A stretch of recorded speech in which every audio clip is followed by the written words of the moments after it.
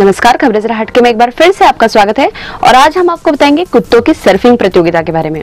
Surfing city कही जाने वाली नगरी कैलिफ़ोर्निया में पिछले दिनों लोगों ने खूबसूरत नज़ारा देखा, जब करीब 70 कुत्ते हंडिंगटन बीच पर समुद्र की लहरों पर सर्फिंग करते नज़र आए। यह डॉगिस की वार्षिक प्रतियोगिता का हिस्सा कुत्तों का कॉम्पिटिशन था।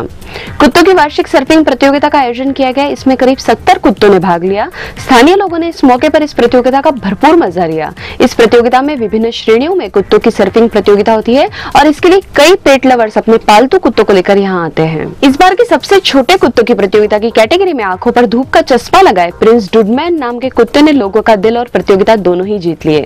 इस आयोजन की खास बात यह है की हर साल इस प्रतियोगिता से होने वाली आय को किसी चैरिटी के प्रयोग में लिया जाता है।